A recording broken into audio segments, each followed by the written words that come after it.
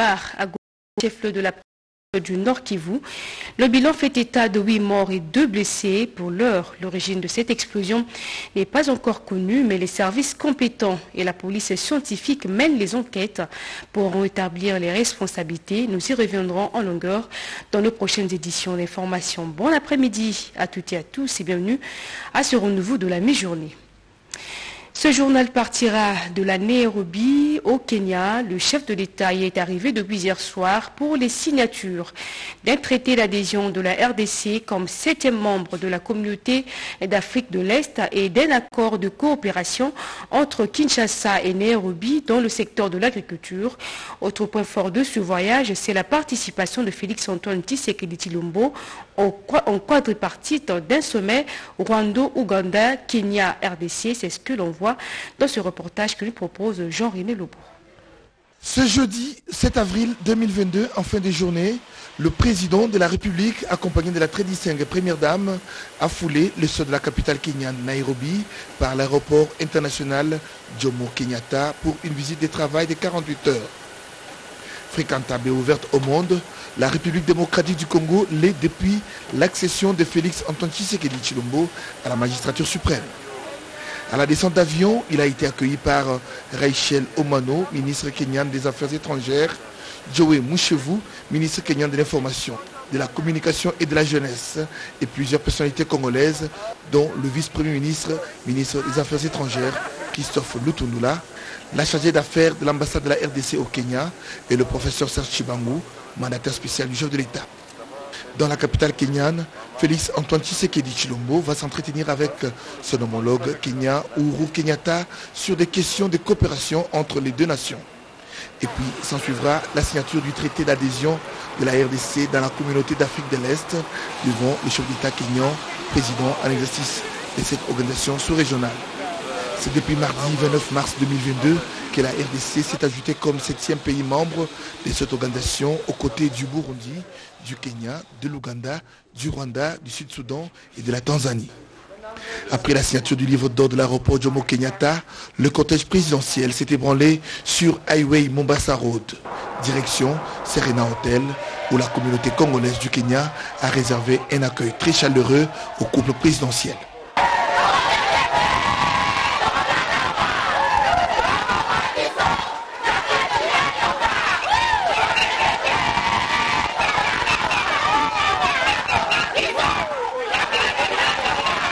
L'agenda du chef de l'État prévoit également la signature d'un accord de coopération entre Nairobi et Kinshasa dans le secteur de l'agriculture avant la tenue ce vendredi 8 avril d'un sommet en quadripartite à Wiklo, Kenya, Ouganda, Rwanda, RDC qui sera sanctionné par un communiqué final.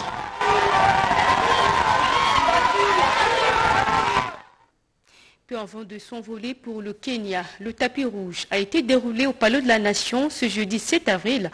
Et pour cause, le président de la République a reçu les lettres de créance des quatre ambassadeurs, respectivement de la Côte d'Ivoire, de la République de Corée, de la République du Congo-Brazzaville et de la Tanzanie accrédités en République démocratique du Congo. On fait le point avec Pierre Kibambou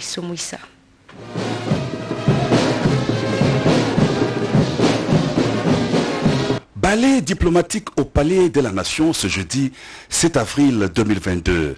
Quatre ambassadeurs extraordinaires et plénipotentiaires ont présenté tour à tour leur lettre de créance au président de la République Félix Antoine Tshisekedi Chulombo. Mech Adje Silas était le premier à franchir le seuil du Palais de la Nation. Il a été reçu par le chef de l'État en sa qualité d'ambassadeur de la République des Côtes d'Ivoire. Détenteur d'une maîtrise en sciences juridiques, option sciences politiques, licencié en droit, professeur certifié, le diplomate ivoirien a été notamment ministre plénipotentiaire et analyste à la direction de la stratégie et prospective de la direction générale de la stratégie et de l'intelligence. Le nouvel ambassadeur de la République de Corée en RDC, Cho Jaquel, est diplômé en lettres, langue et littérature française de l'Université nationale de Séoul.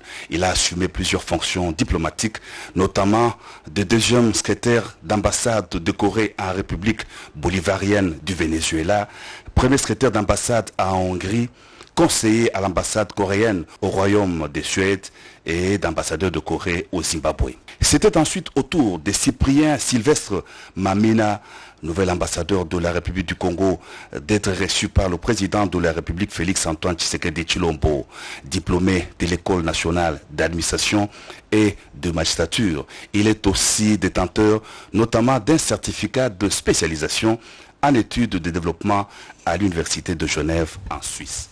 Avant son accréditation à Kinshasa, le diplomate congolais a exercé notamment les fonctions de conseiller à l'ambassade de la République du Congo à Paris en France et de secrétaire général au ministère des Affaires étrangères, de la coopération et des Congolais de l'étranger.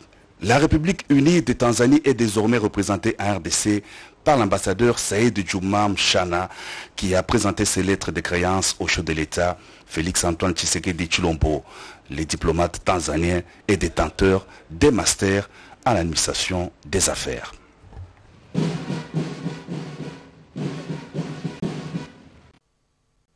Restons toujours au Palais de la Nation. Félix Antoine Tshisekedi Chilombo a échangé avec le gouverneur du Kassai en compagnie du responsable de l'entreprise d'électricité du Congo au mine de leurs échanges, l'amélioration de la desserte en courant électrique dans cette partie du pays. Les détails avec Pierre Kibambiso Mouissa, fils Matondo. Retombée de la tournée d'itinérance du président de la République Félix-Antoine Tshisekedi Chilombo dans le Grand Kassai. La province du Kassai doit bénéficier de la bonne desserte en courant électrique pour assurer son développement, une des doléances soumises au président de la République Félix-Antoine Tshisekedi Chilombo par la population de cette contrée du pays. C'est dans cette optique que le gouverneur du Kassai, Pierre Toutokot, a conduit auprès du chef de l'État l'investisseur responsable de l'entreprise électricité du Congo, Philippe Vanout. Le président de la République a reçu plusieurs euh, réclamations de la part de la population, notamment les réclamations relatives à la euh, desserte euh, en électricité. Et il a fallu que lors de cette visite, que le, le président m'a instruit afin de ramener vers lui l'investisseur qui exploite l'énergie électrique dans la province du Kassai. Voilà pourquoi aujourd'hui, en exécution de cette instruction, j'ai ramené vers le président de la République, M. Philippe Vanout, le directeur général ou le patron de la société Électricité du Congo qui fournit l'électricité dans la province du Kassai, en vue de permettre au président de comprendre la problématique de cette réclamation. Et il a été bien édifié sur non seulement le projet, mais également sur les problèmes qui font que l'énergie coûte cher. Et le président a levé l'option d'instruire les services qu'il faut afin de réduire le coût de l'énergie et permettre à la population d'accéder à, cette denrée rare dans les meilleurs coûts. L'amélioration de la desserte en électricité au Kassai s'inscrit dans le cadre du suivi de la visite d'itinérance du président de la République dans cette province du Grand Kassai. Comme annoncé au début de ce journal, il y a eu explosion au camp militaire Katindo. L'incident a eu lieu dans un bistrot situé à environ 100 mètres de l'hôpital militaire régional de la commune de, Karissimbi à Goma. Cette forte déflagration a causé d'énormes dégâts humains et matériels. Parmi les victimes se trouvent un lieutenant-colonel et un capitaine, tous deux officiers logistiques de la 34e région militaire. En attendant l'expertise de la police scientifique qui est à pied d'œuvre, le gouvernement militaire du Nord Kivu appelle la population au calme. On voit cela dans ce reportage.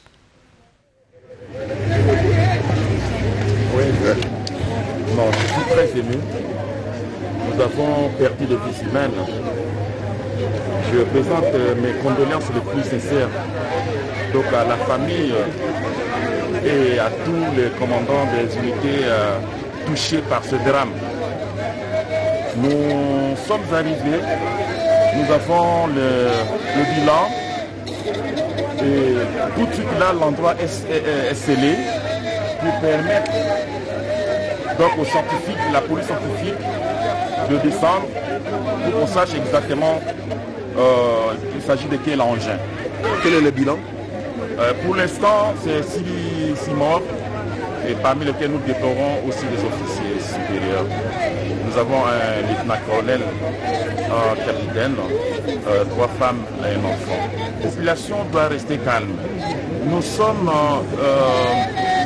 dans la province où nous faisons face euh, aux, djihadistes, nous faisons face donc au terrorisme. Que la population ne cède pas à cette terreur-là et que nous sommes sur les enquêtes. Les enquêtes sont en cours pour déterminer exactement il s'agit de quoi. Mais pour l'instant, la population doit rester calme et il ne faut pas qu'il y ait encore beaucoup d'entroupements comme nous sommes de, de, voir. Même hier, il y a eu beaucoup d'entroupements. Nous, avions eu euh, difficilement accès ici. Il faut que nos, euh, compatriotes, la population, euh, sache se comporter devant des EZI, c'est-à-dire des engins explosifs improvisés.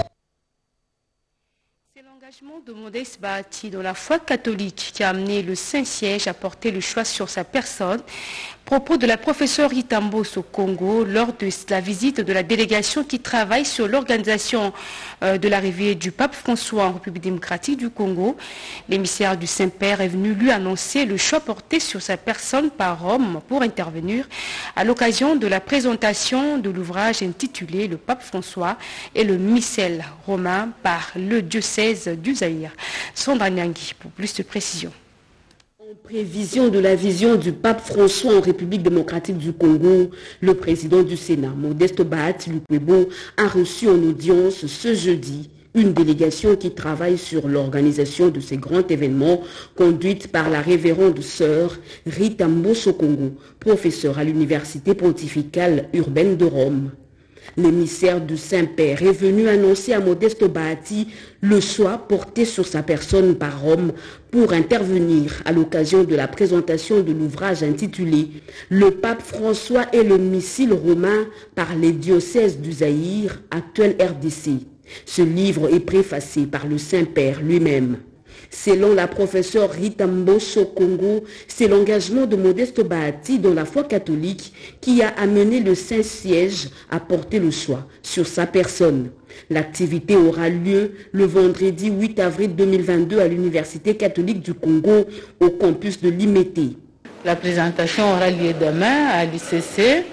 On a demandé au président du Sénat pour qu'il puisse euh, intervenir en tant que chrétien, en tant que politicien, pour préparer l'avenir de Saint-Père qui euh, va se passer d'ici peu, et qu'il nous dise des rites congolais de la messe, comment ça vibre au Congo, le président lui-même euh, a été à Rome, il a participé à des messes à Rome, il parle bien l'italien, il comprend l'italien et le français. Ce sont des motivations. Le rite a été conçu ici à Kinshasa à l'Université catholique du Congo, qui est la première université catholique d'Afrique. C'est là où le rite est né, avec les grands théologiens, pas seulement congolais, africains et du monde. Il y a eu aussi les, gens du Vatican qui sont venus pour faire euh, naître ces rites. Alors, le Vatican et nous-mêmes, nous avons décidé d'aller présenter les, livres à la maternité, qui est l'ICC. Plusieurs personnalités ont été choisies le cardinal Fridolin Ambongo et le nonce apostolique en RDC, Monseigneur Ettore Belestrore. Dans l'actualité de ce vendredi 7 avril, c'est aussi cette réunion de sécurité qui s'est tenue à Ouvira. Le souci de servir son pays et de connaître à fond les difficultés de ses compatriotes dans le sud Kivu profond et sur instruction du Premier ministre, le ministre d'État, ministre du Budget, Aimé Bodji Sangara s'est rendu le mercredi 6 avril 2022 à Ouvira. C'est pour palper les réalités qui plombent le développement de ces territoires qui a déjà des problèmes sérieux de route s'il faut s'en tenir au programme ambitieux d'améliorer les conditions de vie des populations dans la quasi-totalité des territoires de la RDC. Bodji Sangara apporte ici la vision du chef de l'État Félix Antoine Tshisekedi qui vise le développement à la base. Le président de la République nous aime beaucoup. N'est-ce pas depuis l'indépendance? Chaque gouvernement construit en ville. Ils ont déjà fait quelque chose ici chez nous, à Ouvira. Ils n'ont rien fait. Le président Félix Antoine Tshisekedi s'engage à ne pas commencer en ville comme eux. Il va construire d'abord dans les territoires et villages. Un autre message du ministre d'État en charge du budget, c'est l'amélioration de l'enveloppe salariale de tous les fonctionnaires de l'État, qui a d'ailleurs connu une légère amélioration. Et d'ici avril 2022, l'armée et la police connaîtront une autre amélioration à rassurer les patrons des lignes budgétaires congolaises. Les enseignants de l'intérieur devront eux aussi avoir localement la totalité des frais qui étaient destinés à la mutuelle de santé jadis retenue à Kinshasa. D'autres questions liées à l'insécurité ont été évoquées au cours d'une réunion du Conseil local de sécurité. Des solutions idoines y ont été prises. Le gouverneur militaire de la province de l'Ituri est à Tioma pour le retour de la paix. Images et commentaires.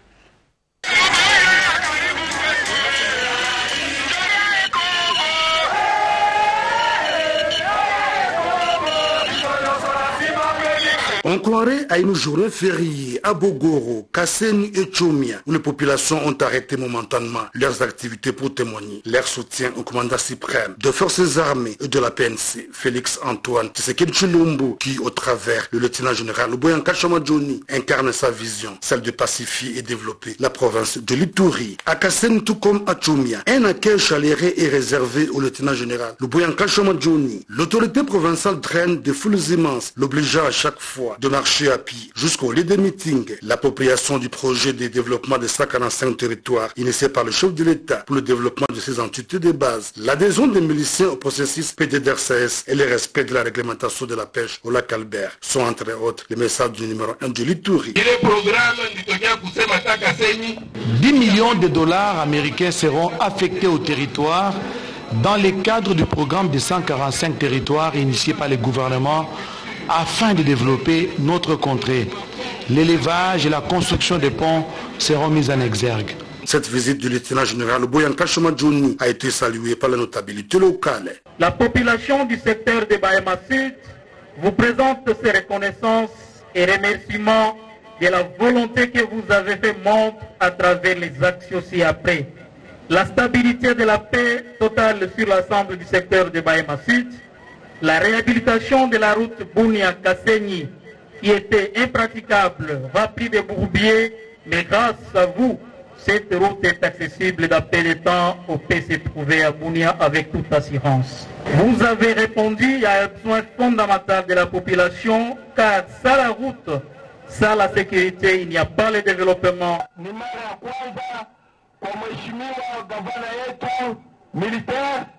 Kufika kututembelea hapa, si ndio?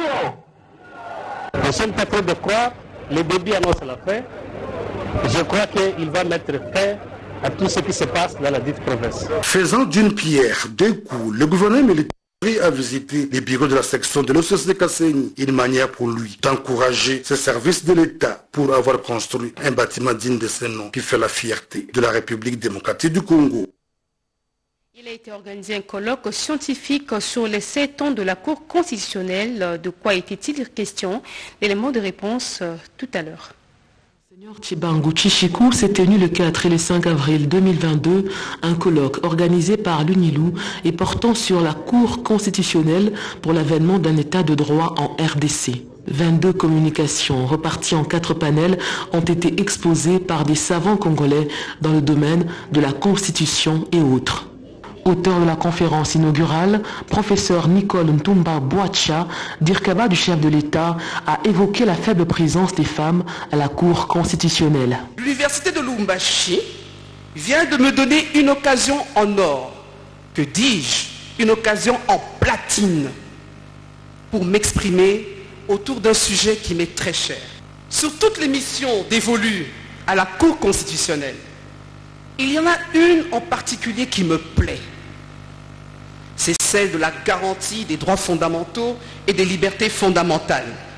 Vous verrez, mesdames et messieurs, que quelque part dans la Constitution, il existe l'article 14 qui exige que les pouvoirs publics veillent à l'élimination de toute forme de discrimination à l'égard de la femme et assure la protection et la promotion de ses droits. Et plus loin, la loi fixe les modalités d'application de ces droits. Oh là là, mesdames et messieurs, quelle déclamation Quelle mauvaise application le professeur André Mbata, pour sa part, saluait l'inauguration d'une nouvelle collaboration entre l'UNILU et l'UNIKIN à travers la remise symbolique des ouvrages au professeur Gilbert Kishiba Fitula. Satisfait, le recteur de l'UNILU a salué la pertinence de l'apport des panélistes.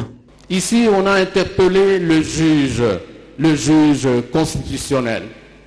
Je souhaite que vous puissiez rapporter au premier président de la Cour constitutionnelle qu'il s'est agi ici de s'interroger et de savoir quelles sont les voies les meilleures de sortie sur euh, la tension entre pouvoir du droit et le droit du pouvoir. Les autorités politico-administratives et autres invités ont pris part active à ce premier colloque traitant des questions juridiques. Ils sollicitent leur implication de la construction des infrastructures à l'INBTP pour y apporter leur expertise.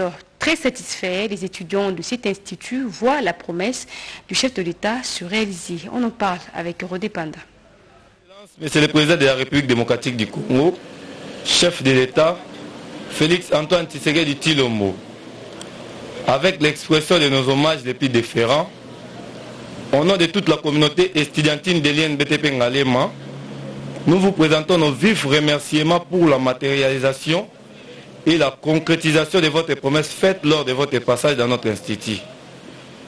Celle de la construction de nouveaux bâtiments et la réhabilitation des infrastructures au sein de notre alma mater.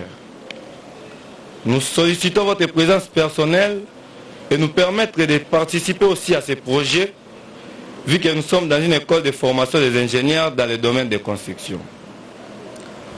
Nous profitons de cette occasion pour présenter nos esquisses suite aux différents dérapages liés à nos récentes revendications des frais académiques, d'autant plus que notre institut se situe à un endroit très stratégique qui est en face de la cité de l'Union africaine.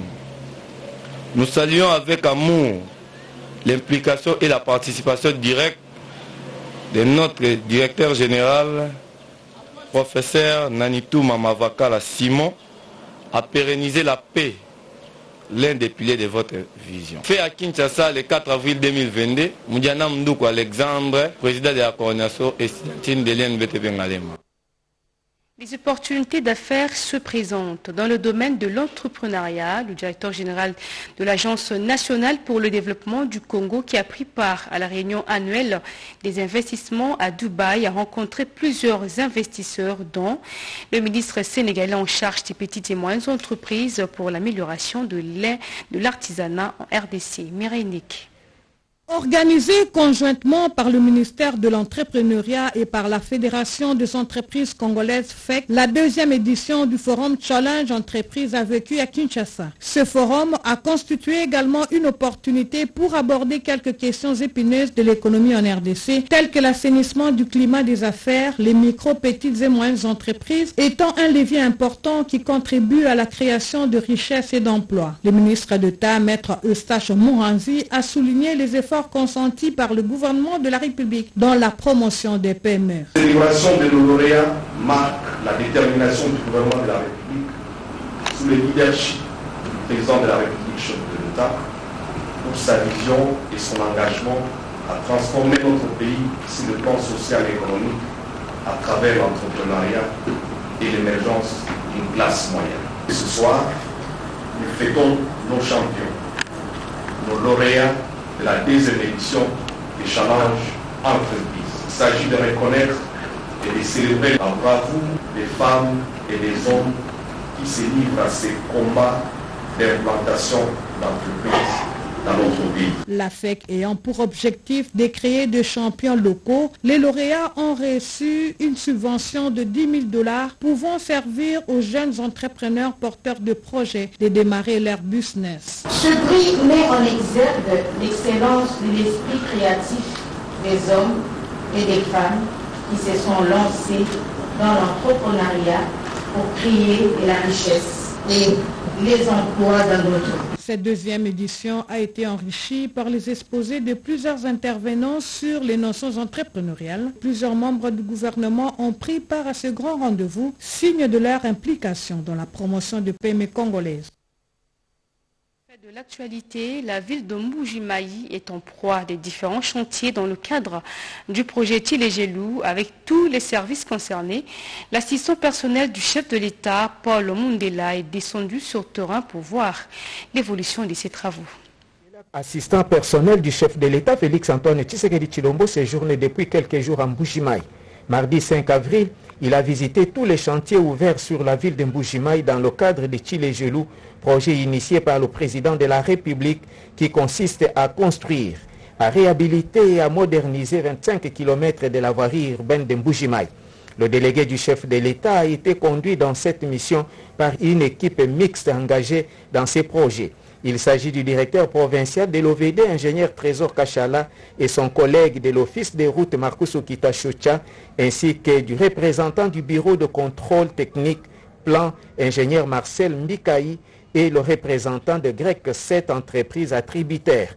La tournée d'inspection a commencé par le PK0 à l'aéroport de Mbujimaï où les travaux d'assainissement sont déjà terminés à la satisfaction de la population qui remercie le président de la République pour ces projets qui sécurisent leurs parcelles jadis menacées par les eaux de ruissellement. Paul Mundela s'est rendu sur l'avenue Lusambo baptisé Fachi où les collecteurs des eaux de grandes dimensions, un assainissement professionnel et rigide. Les ouvrages construits sont à présent à 80% garnis de caniveaux qui conduisent les eaux vers les exutoires naturels. De l'avenue Fachi, en passant par la place Bonzola, l'ISP de Mbujimaï, où le passage était autrefois quasi impossible, devient praticable. Le délégué du président de la République a été agréablement surpris des travaux exécutés sur la boucle Miba où le béton armé est en train d'être coulé. Il a également apprécié les travaux faits sur l'avenue Lusambo qui attend l'asphaltage au même titre que l'avenue Fachi. La délégation a terminé la visite des travaux par l'avenue Chalamwana. Dan Marshall, c'est le nouveau coordonnateur de la nouvelle fédération Tshisekedi. Il a pris officiellement ses fonctions dernièrement au siège de cette structure, révivant les temps forts de cette cérémonie avec Marie-France Zaina. L'unification de la nouvelle génération Tshisekedi, Dan Marshall Moubenga est désormais le nouveau coordonnateur de cette structure affiliée à l'UDPS et créée en 2009 longtemps divisé avec l'aile Junior Mata et Donna Soft Mukuna, les deux ailes se sont réunies et ont désormais un seul coordonnateur. Il a pris officiellement ses fonctions samedi 26 mars à Kinshasa au cours de la remise et reprise devant les collèges des fondateurs. Donna Soft Mukuna a passé le flambeau à Dan Marshall Mubenga. Désormais, c'est lui qui va chapeauter cette structure affiliée à la Ligue des jeunes de l'UDPS, parti cher au président de la République, Félix Antoine Tshisekedi Chilombo. Présider à la destinée de notre grand mouvement affilié à la Ligue des jeunes de l'UDPS. Ainsi, je me fais un point d'honneur de saluer l'unité qu'ils ont prêchée par l'exemple pour avoir communiqué efficacement dans l'intérêt de la nouvelle génération Tshisekedi, les fondateurs méritent notre profond respect et considération pour la sagesse de Salomon dont ils ont fait montre. La nouvelle génération Tshisekedi, longtemps divisée, existe depuis 2009. Créée sous la bénédiction des Sphinx délimités, le docteur Étienne Tshisekedi Wamulumba, au prix de multiples sacrifices. À cette occasion, la coordination du Haut-Katanga a organisé une rencontre commémorative pour les 13 ans d'existence de NGT. Également à Goma, dans le Nord Kivu, cette journée était sanctionnée par une conférence pour expliquer aux femmes l'importance de la lutte contre le réchauffement climatique par la coordination provinciale. Fin de ce journal, Madame, Messieurs, merci de votre fidélité. Retrouvez à 19h Séverine Pascal Katanda. D'ici l'après-midi, de vous. Je vous retrouve demain à la même heure.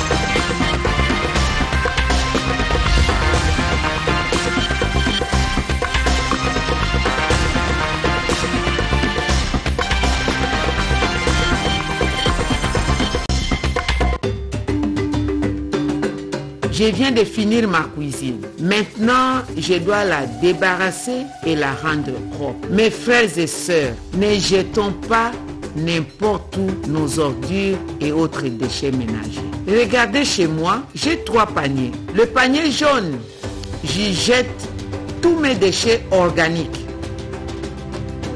Le panier bleu, j'y jette des canettes et des papiers.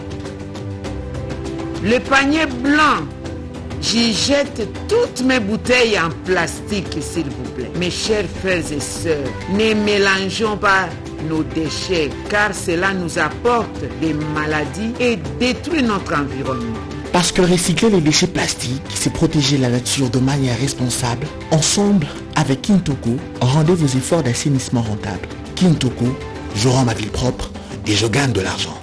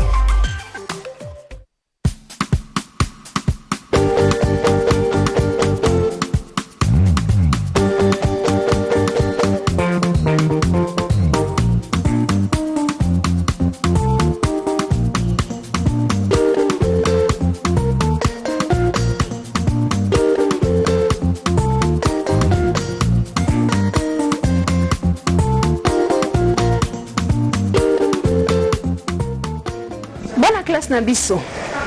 Chikuku ya lelo eye. Chikuku eye lisusu na bandako na bino. Boyebi ti mpo toyekola bongo chikuku lelo abongiseli biso nini? Chikuku lelo akolamba ngaingai. Kasi ngaingai yango moko te. Ngaingai osolo ngaingai na aubergine. Alors tozalaka na deux aubergine aubergine ya mauve na aubergine ya vert. Kasi lelo mama fifi asepeli kosala ngaingai na aubergine ya vert bongo na kati ya ngaingai wana toza lisusu na tangawisi oyo tokotia na kati ya, ya ngaingai wana. Alors biso nyonso toyebi bomomesano chikuku asengaka nini? Kaye na biki bongo toyekola mpo na kolamba ngaingai na biso ya biso ngaingai tosukoli deja. Mama mpe papa yo na ndako osuti na ngaingai na wenze. Kolamba mbala moko te sokola yango. Sokola yango mpo toza plus encore toza na saison de pluie. Vraiment ndunda eza sali te makasi. Sokola yango na mai ebele. Osokoli baepice nyonso oyo toza nango lokola ndembi poivron tangawisi litungulu tomate mpe euh, solo na biso na ai obongisi yango nyonso. Bongo ntango tosisi kosokola tozwi ndunda na biso oyo babengi ngaingai totie na moto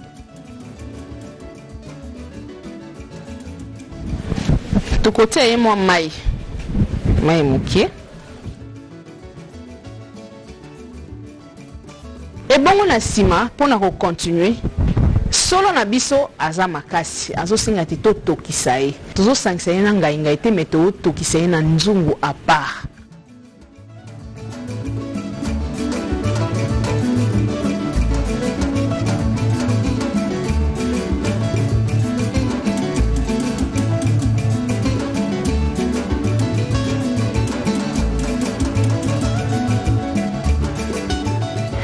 balobaka bana mibali balingaka ngaingai te.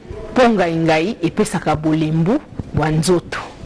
Mpo bango balinga ngaingai totieli bango tangawisi na kati ya bilia wana. Mpo tangawisi epesaka bopikiliki bwa nzoto.